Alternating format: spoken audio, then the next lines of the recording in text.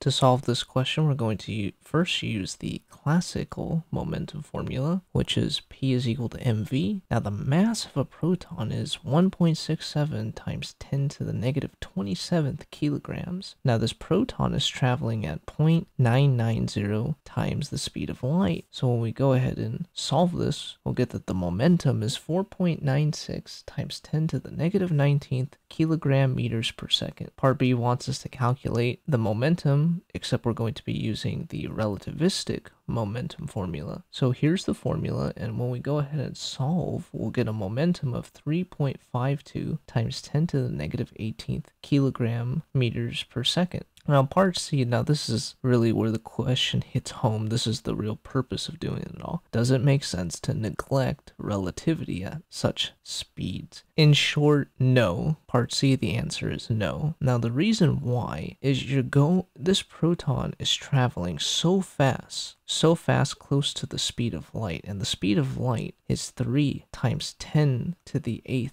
meters per second. That is incredibly fast. And for a particle to be moving that fast, neglecting relativity totally distorts the actual answer. Compare these two numbers right here. This relativistic momentum is seven times greater than this value right here. So if you're trying to be precise with your calculations, you, you cannot neglect relativity.